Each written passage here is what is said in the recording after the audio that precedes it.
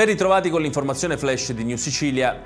Ho sentito voci cominciate subito dopo la notizia dell'arresto di Messina Denaro. Non c'è stato nemmeno il tempo di ringraziare le forze dell'ordine che già sentivamo di ombre sull'attività investigativa condotta. Ciascuno può fare i commenti che vuole, ma le speculazioni devono fermarsi davanti ai fatti.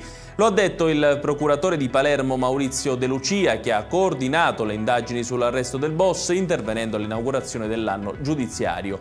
Facciamo i processi e poi la gente potrà giudicare cos'è accaduto il 16 gennaio quando è stato raggiunto un risultato storico, un successo che lo Stato ha il dovere di rivendicare senza dietrologie e speculazioni, ha concluso De Lucia. Gli investimenti che si stanno realizzando e quelli che sono in programma possono fare della Sicilia e dell'Etna Valley quello che avevamo sempre immaginato, la Silicon Valley europea capace di competere a livello globale. Lo ha detto il ministro delle imprese del Made in Italy Adolfo Urso a Catania incontrando i giornalisti al termine di una visita al cantiere dell'impianto integrato Wafer SIC che ST Microelectronics sta costruendo per la produzione di substrati in carburo di silicio. Oggi si parte, ha concluso Urso, per evidenziare al Paese e all'Europa qual è la scommessa del nostro Paese nel settore dei semiconduttori, che è il futuro anche dell'industria manifatturiera italiana ed è importante che questo avvenga con il pieno sostegno del governo. La scommessa del nostro mezzogiorno parte proprio da qui, dalle parole di Urso.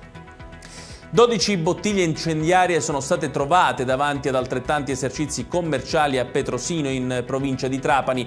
È un'incresciosa vicenda che ha toccato la nostra comunità, dice il sindaco Giacomo Anastasi. Non sappiamo ancora se si sia trattato di uno stupido scherzo o qualcosa di ancora più grave e organizzato il commento del primo cittadino. Il sindaco due giorni fa, assieme ad altri amministratori, aveva partecipato alla manifestazione antimafia a Campobello di Mazzara, a pochi passi dal covo dove si nascondeva Messina Denaro denaro prima della cattura. Sul caso indagano attualmente carabinieri e polizia.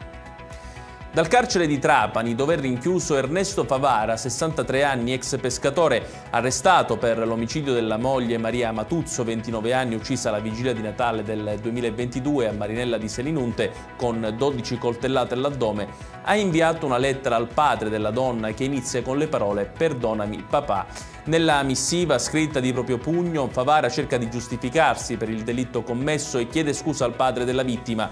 Il padre di Maria Matuzzo, tramite il suo legale, fa sapere che non avrà mai alcun sentimento di perdono nei confronti dell'uomo che gli ha portato via così brutalmente la figlia.